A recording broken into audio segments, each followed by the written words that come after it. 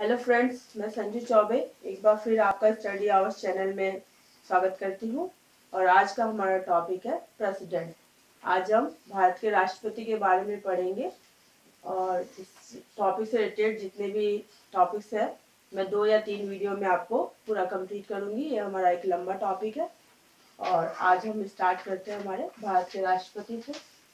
राष्ट्रपति, जैसा कि आप सभी जानते हैं सबसे पहले हम अपने संविधान में बात करते हैं। हमारे संविधान के part four sorry part five में, यानी पाँचवें भाग में यूनियन गवर्नमेंट के बारे में बताया गया है। यूनियन गवर्नमेंट यानी हमारी सेंट्रल गवर्नमेंट जो कि हमारी सेंट्रल लेवल पे काम करती है, यानी दिल्ली में। उस यूनियन गवर्नमेंट में आर्टिकल 52 सेज आर्टिकल 52 सेज क्या कहता है आर्टिकल 52 आर्टिकल 52 कहता है there is a provision of the president of india in our constitution या हमारे संविधान में भारत का एक राष्ट्रपति होगा, ये आर्टिकल 52 में कहा गया दोस्तों आर्टिकल 52 ठीक है? आर्टिकल 52 क्या क्या कहता है? आर्टिकल 52 कहता है कि हमारे संविधान में हमारे देश के लिए एक राष्ट्रपति होगा। अब राष्ट्रपति के लिए आर्टिकल 53 है, इसमें राष्ट्रपति प्रेसिडेंट से रिलेटेड जो भी इम्पोर्टेंट आर्टिकल होंगे, वो भी मैं आपको साथ के साथ बताते जाती हूँ। आर्टिकल 53 में कहा गया है कि president hold the executive powers of the constitution and use the powers by himself और by the help of the subordinate जो प्रेसिडेंट होता है, उसमें एग्जीक्यूटिव पावर्स है, वो सारी सारी दी गई है उसे। और वो उन पावर्स को या तो खुद यूज़ करता है या with the help of the subordinate अब उसके सबॉर्डिनेट कौन होंगे? तो हम आते हैं और बात करते हैं यूनियन एग्जीक्यूटिव की। और ये आर्टिकल 53 में कहा गया है कि जो प्रेसिडेंट है, वो सारी एग्जीक्यूटिव पावर्स को होल्ड करता है। और वो या तो इनको यूज़ करेगा अपने खुद या फिर अपने सबॉर्डिनेट की हेल्प से। अब उसके सबॉर्डिनेट यूनियन एग्जीक्यूटिव में मेंबर होते हैं ये मैंने एक पिक्चर बनाया है कार्टून टाइप का, ताकि आपको इजीली समझ में आए। इसमें सबसे पहले है हमारे प्रेसिडेंट यानी जो हेड होते हैं। प्रेसिडेंट आपको दोस्तों हेड ऑफ़ द नेशन होता है and it is the formal head formal head यानी सिर्फ़ ये नाम मात्र का होता है। सारे के सारे काम जो एक्चुअल हेड है, वो करता है, और एक्चुअल हेड किसको कहा गया है? प्राइम मिनिस्टर को। जो हमारे नरेंद्र मोदी हैं अभी प्राइम मिनिस्टर है, वो एक्चुअल हेड है हमारे इंडिया के।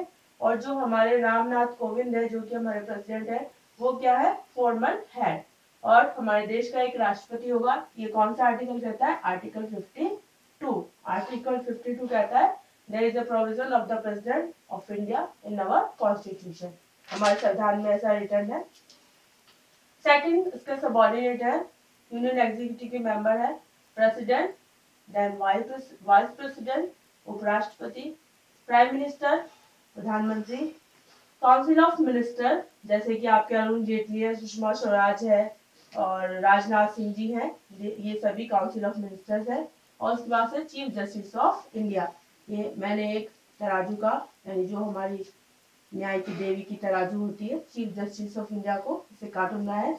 ये सभी यूनियन एग्जीक्यूटिव होते हैं, यानी ये सभी मिलके जो है हमारे देश की जो सेंट्रल लेवल की गवर्नमेंट होती है, उसके सारे रूल्स लॉज को एग्जीक्यूट करते हैं, यानी प्लान इम्प्लीमेंट करते हैं, ठीक है?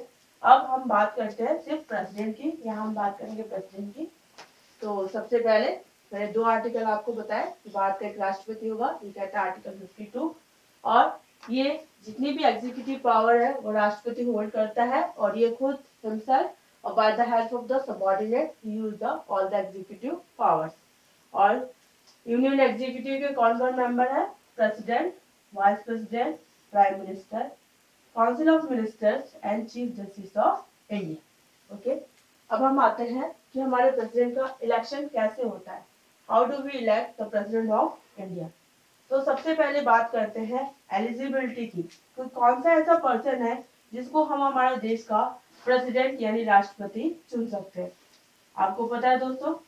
जैसे आई के एग्ज़ाम होते हैं, या आर के एग्ज़ाम होते हैं, या कोई भी एग्ज़ाम होता है, उसके लिए एक एलिजिबिलिटी होती है कि ग्रेजुएट होना चाहिए या ट्वेल्थ पास होना चाहिए। उसी तरह से हमारे प्रेसिडेंट हमारे देश का प्रेसिडेंट कौन सा ऐसा सिटीजन है जो बन सकता है, उसके लिए भी एलिजिबिलिटी योग्यताएँ हैं और वो आर्टिकल 58 में डिफाइंड है। Eligibility of the president that is defined in article 58 तो सबसे पहले आते हैं। तो देश का यानी इंडिया का राष्ट्रपति बनना है उसे। तो सबसे पहले क्या होना चाहिए? सिटीजन ऑफ़ इंडिया भारत का नागरिक।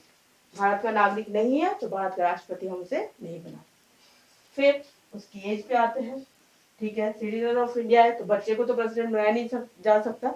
At least thirty five of years age होनी चाहिए उसकी। कम से कम पैंतीस साल पूरी कर चुका हो।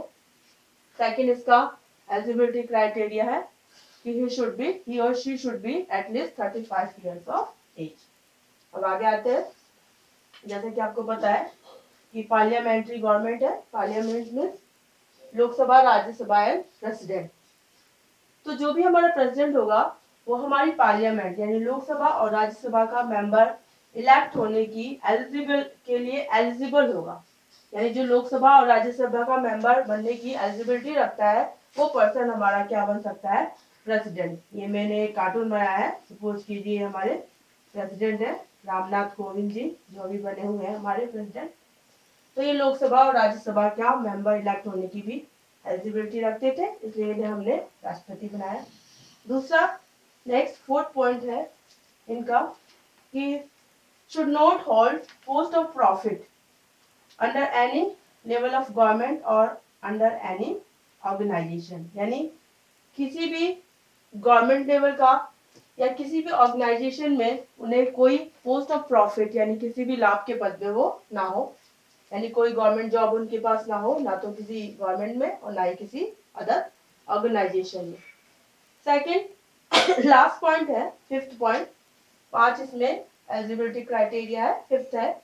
Member of parliament of any state legislative यानी वो किसी भी स्टेट लेजिस्लेटिव के मेंबर नहीं होने चाहिए at the time of appointment जब वो अपॉइंट हो जाते हैं तो किसी भी स्टेट लेजिस्लेटिव मेंबर के पार्लियामेंट नहीं होने चाहिए। ठीक है दोस्तों? तो ये है एक प्रेसिडेंट क्यों इलेक्ट होने के लिए। सपोज़ कीजिए आपको या हमें प्रेसिडेंट बनना है तो हमें क्या क्या हमारे अंदर योग्यताएँ होनी चाहिए। चलिए आर्टिकल 58 कहता है। तो एक बार हम देख लेते हैं। यदि मुझे राष्ट्रपति बनना है या आपको बनना है तो हमें क्या क्या योग्यताएँ होनी चाहिए? सबसे पहले सिटीजन ऑफ़ इंडिया हम भारत के नागरिक हो, दूसरा, हमारी एज एटलीस्ट थर्टी फाइव हो जाए, ठीक है? अभी मेरी नहीं हुई है, इसलिए मैं प्रेसिडेंट ऑफ़ इंडिया नहीं बन सकती हूँ। नेक्स्ट है eligible to the to be the member of parliament Lok Sabha और राज्यसभा। कि हमारे पास लोकसभा और राज्यसभा का मेंबर इलेक्ट होने की एलिजिबिलिटी होनी चाहिए। फोर्थ पॉइंट है कि हमारे पास कोई भी गवर्नमेंट लेवल की या एनी अदर ऑर्गेनाइजेशन में कोई भी पोस्ट ऑफ़ प्रॉफिट नहीं होना चाहिए। फिफ्थ पॉइंट है, यदि हम राष्ट्रपति बनना चाहते हैं, देश के राष्ट्रपति बनना चाहते हैं तो किसी भी state legislative parliament of any state legislative यानी किसी भी राज्य की विधानसभा के मेंबर हम नहीं होने चाहिए।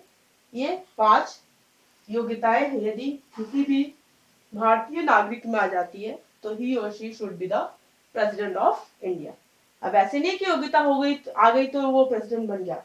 अब उसके लिए हमारा इलेक्शन होगा, ठीक है? इलेक्शन कैसे होगा, ये मैं आपको नेक्स्ट वीडियो में बताऊँगी।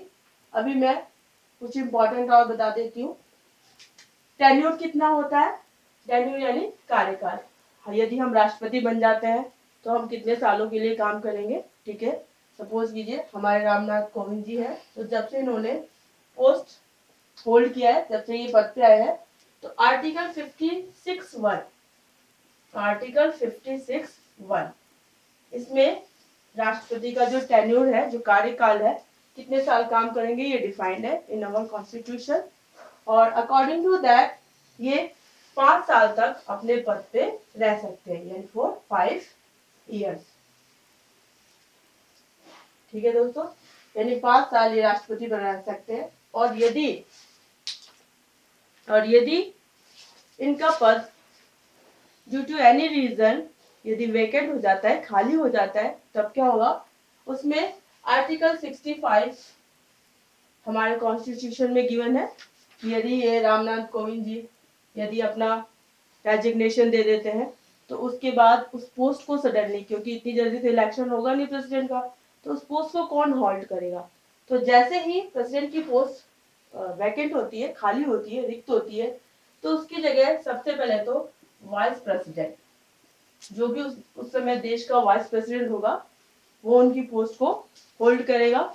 इसके बाद से यदि वाइस प्रेसिडेंट भी नहीं है उसकी पोस्ट भी यदि खाली है तो फिर सुप्रीम कोर्ट कोर्ट का जो चीफ जस्टिस होगा that will be the supreme court का जो चीफ जस्टिस होगा वो हमारे इंडिया का प्रेसिडेंट की पोस्ट को होल्ड करेगा। सुप्रीम कोर्ट का चीफ जस्टिस। ठीक है दोस्तों? ये आर्टिकल क्या आंसर कहता है? Sixty five. Article sixty five कहता है यदि किसी कारण से राष्ट्रपति का पद खाली हो जाता है तो उसकी जगह उस समय जो भी वाइस प्रेसिडेंट होगा हमारे देश का वो राष्ट्रपति की पोस्ट पे आ, काम करेगा। और यदि वाइस प्रेसिडेंट की पोस्ट है वो भी यदि खाली है वो भी यदि वेकेंट है तो सुप्रीम कोर्ट का जो कि हमारे देश का सर्वोच्च न्यायालय होता है उसके जो चीफ जस्टिस होंगे, वो उस समय as a president of that country यानी अवर कंट्री इंडिया के प्रेसिडेंट के रूप में काम करेंगे। ठीक है दोस्तों? ये कहता है हमारा आर्टिकल 65 अब राष्ट्रपति का इलेक्शन कैसे होता है? कैसे हम राष्ट्रपति को चुनते हैं? ये मैं आपको बताती हूँ अपने नेक्स्ट वीडियो में। Thank you very much